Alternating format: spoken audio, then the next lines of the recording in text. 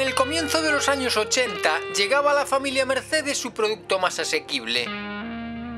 Una moderna berlina con las habituales dosis de confort, seguridad y longevidad propias del inventor del automóvil, contenidas en una carrocería de menos de 4 metros y medio.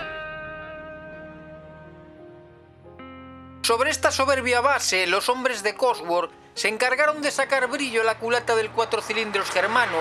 convirtiendo al discreto 190 en un deportivo extraordinario.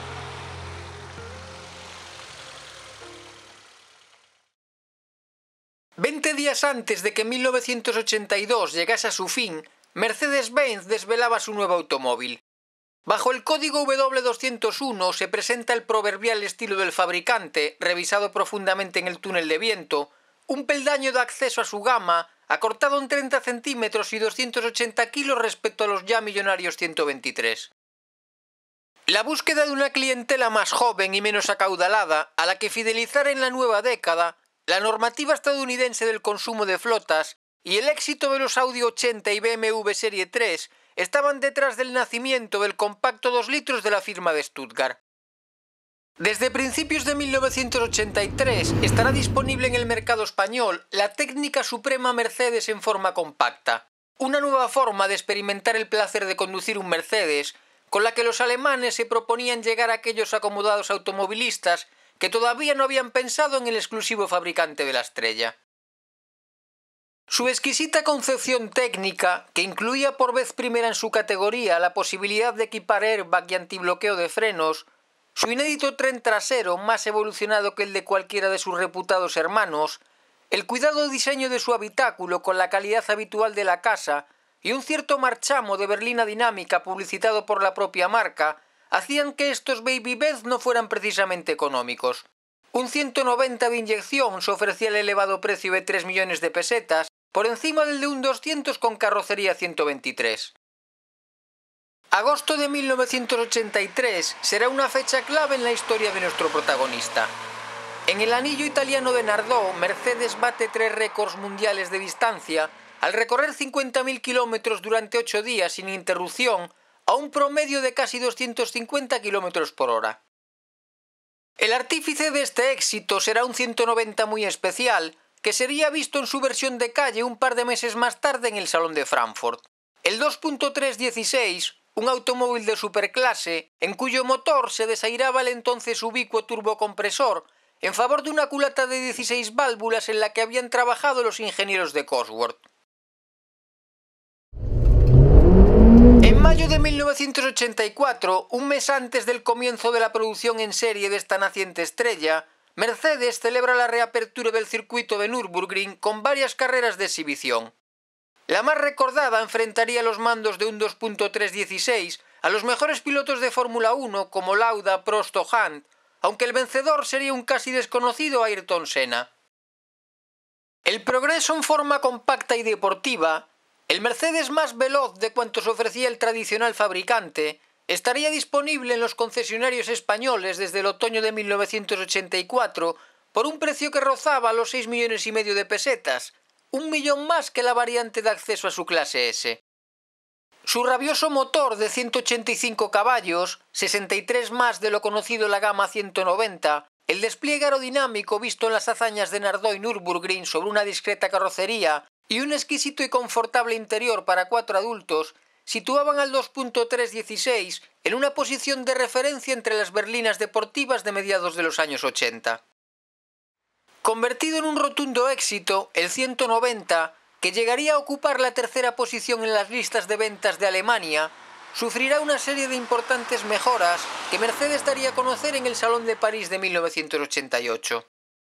Para la temporada 89, su carrocería presentará unos parachoques más aerodinámicos, los laterales contarán con protecciones de mayor superficie y en el interior el rediseño de la estructura y de los asientos permitía ganar espacio en las plazas traseras, uno de los aspectos más criticados del 190. Para reforzar su posición en una categoría cada vez más numerosa, en la que su principal amenaza era la de su compatriota el BMW M3, el 190 2.3 multiválvulas cederá el testigo, tras casi 20.000 unidades comercializadas, al 2.516, nuevo estandarte de la renovada gama del compacto alemán. En el exterior, únicamente el dígito alusivo a su nueva cilindrada marcará las diferencias entre ambos gimnastas, disponiéndose en el 2.5 de dos colores más donde escoger, el plateado astral y el rojo granate, que es el que luce nuestro invitado. Este ejemplar fue matriculado en España en octubre de 1989, el año de mayor producción de este exclusivo 190, numerosa familia que llegó a estar integrada por casi 1.900.000 miembros, fabricados en las plantas de Sindelfingen y Bremen. El Mercedes 190 representaba un logrado equilibrio entre la tradición de la firma y la modernidad. Sus aerodinámicas formas se debían a Bruno Sacco, padre también de la clase S de 1979, que sorprendía en el compacto 201 con una zaga alta y progresivamente estrecha en su parte superior. En el caso de las variantes de 16 válvulas, su sobriedad se veía oportunamente alterada por una estudiada dotación aerodinámica que hacía disminuir el coeficiente de penetración hasta 0,32, con una importante reducción en la elevación del tren delantero de un 45% y de un 40% en el trasero respecto a las primitivas versiones. Nuestra unidad equipa las llantas de 16 pulgadas de los 190 Evolution de un diseño muy similar a las de 15 de ambas variantes multiválvulas, que disponían en ellas de neumáticos 205 con perfil 55. Salvo por la mayor amplitud en las plazas traseras, el habitáculo del 2.5 apenas se diferenciaba del de su antecesor. Ambos realizados con materiales de primera calidad, soberbiamente ajustados, pero con imperdonables lagunas en el equipamiento de serie que dejaba fuera los elevalunas eléctricos delanteros o el cierre centralizado. La instrumentación habitual en otras versiones de la gama, con los indicadores de la presión del aceite y del consumo instantáneo, se ve aquí reforzada en la parte central con la lectura de la temperatura del aceite, con un voltímetro y con un cronómetro digital. La interminable lista de opciones incluía entre otros el aire acondicionado por más de 450.000 pesetas, el techo practicable eléctricamente por casi 200.000, la tapicería de cuero por 300.000, los asientos delanteros calefactables con mando eléctrico y el airbag para el conductor disponible por un cuarto de millón de pesetas. Incluyendo todos los posibles extras, el precio final se situaba en la barrera de los 9 millones de pesetas, unos 55.000 euros. Para los envolventes asientos traseros, la marca anunciaba un aumento de 20 milímetros de espacio para las rodillas, aunque los 190 jamás brillarían en habitabilidad. El maletero dispone de un volumen declarado de 385 litros, valor muy respetable al juzgar al 2.5 como un deportivo, pero relativamente escaso al considerar su tamaño. Exceptuando los motores 16 válvulas que Benz había empleado en competición a comienzos del siglo XX, los de los 190 serán los primeros multiválvulas que equipen a un modelo de calle de la marca, estando derivados del tipo M102 presentado sobre el 123 a finales de 1980. El 2.5 ganaba los 200 centímetros cúbicos sobre su antecesor, gracias a un aumento en la carrera del cigüeñal de 7 milímetros pero frente a este se disminuía la relación de compresión de 10,5 a 9,7 a 1, al tiempo que la distribución se hacía más cruzada y se abandonaban los taques hidráulicos. Los 204 caballos aparecían a 6.750 vueltas, 550 más arriba que antes, y el par máximo de 235 Nm, que aumentaba solo en un 2%, no llegaba hasta las 5.000 revoluciones por minuto. Las relaciones del cambio, con la primera hacia atrás, se mantenían invariadas, pero el grupo final se alargaba en un 6,5%, por lo que la respuesta del 2 litros y medio no se distanciaba claramente de la del 2.3 precedente. Pero los casi 20 caballos de diferencia permitían a Mercedes anunciar una velocidad máxima de 235 km hora, con un registro de 0 a 100 en 7 segundos y medio. Del 2.316 se heredaba el excelente tren trasero de 5 brazos por rueda con función autonivelante y también la opción de una suspensión de altura constante en los dos ejes con un regulador de tres posiciones, 30 milímetros por encima de la normal y 15 por debajo, ideal para circular a elevadas velocidades. Sin embargo, el 2.5, todavía más seguro, monta de serie el diferencial de bloqueo electrónico automático o ASD, que utilizando los sensores del ABS detecta e impide que gire en vacío una de las ruedas propulsoras. Finalmente, el 2 litros y medio está provisto de serie, como su hermano menor, de cuatro frenos de disco apoyados por antibloqueo, con los delanteros autoventilados, y asistencia variable en su dirección de recirculación de bolas con tres vueltas entre topes. La evolución lógica de la primera berlina multiválvulas de producción alemana aparecía en la revista Autopista como el mejor compromiso posible entre deportividad y utilización turística.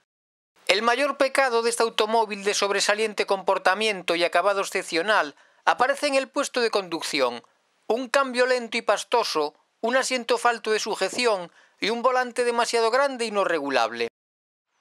El mensual automóvil considera el 2.5 tan solo discretamente superior a su célebre antepasado. Mejora su comportamiento gracias al nuevo autoblocante, da un notable paso adelante en velocidad punta, lima algunas décimas en aceleraciones, iguala las recuperaciones del 2300 y cede en adelantamientos por la mínima. Motor 16 acoge con más entusiasmo la llegada de este deportivo casi perfecto, del que se reiteran las conocidas virtudes y se reprocha únicamente sus plazas traseras por la dureza de los asientos y por el discreto espacio que ofrecen para las piernas. La potencia de Steffi Graf, la velocidad de Gianni Longo y la agilidad de Katarina Witt aparecen concentradas, según la revista El Automóvil, en esta atleta de alto nivel, del que se subraya su motricidad, la eficacia de sus frenos y lo completo de su instrumentación, y se lamenta principalmente lo insulso del motor a bajos regímenes, la lentitud de la palanca de cambios y su elevado precio. Según los franceses, el 2.516 sigue siendo el rey de su categoría, un ejemplo de lo que la tecnología puede aportar por igual a las prestaciones y a la seguridad. Por último, la reconocida publicación Le Monitor Automóvil encuentra tras su profundo análisis del 190 más virtudes y de mayor peso que defectos. En su haber se anota la mejora de la elasticidad del motor, la relación prestaciones-consumo con un valor medio en el ensayo de 15 litros, sus modales dóciles y deportivos y el confort de un interior bien realizado e insonorizado. Y en el debe aparecen como perfectibles los respaldos fijos de los asientos traseros y el elevado precio de las piezas de recambio. Bajo el título Sport o Confort, la revista belga enfrenta al 192.516 a las berlinas más deportivas de finales de la década de los 80. El BMW M3, verdadero maestro de armas, apuesta claramente por la deportividad gracias a su motor de 200 disciplinados caballos y a un comportamiento muy eficaz. El Ford Sierra Cosworth, un virtuoso con uniforme de calle, confortable y habitable, que declara la misma potencia que el Mercedes gracias a la ayuda del turbocompresor. El Lancia Tema Turbo 16 válvulas, elegante y lujoso intruso de tracción delantera y 185 brillantes caballos. El exótico y refinado Maserati 430 con un V6 biturbo de 250 caballos de difícil doma y el Renault 21 Turbo, una rapidísima flecha de fácil disparo que el hexágono ofrecía por la mitad de precio que la estrella.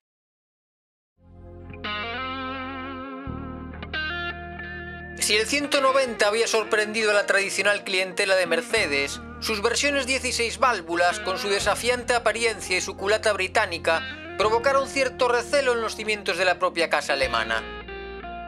Los tres fondistas que alcanzaron la gloria en Nardó se convirtieron durante una década en una de las berlinas más ágiles de la producción mundial. Pero ante la pregunta confortable o deportivo, los directivos de Stuttgart habrían asegurado sin dudarlo que el 190-16 seguía siendo un Mercedes.